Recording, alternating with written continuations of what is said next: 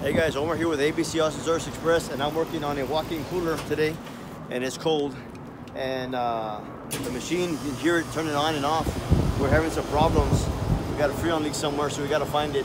Uh, but call us for our AC heating and refrigeration needs, 512-448-0532, 512-448-0532. You can also find us on the web at www.abcaustinacandheating.com, okay?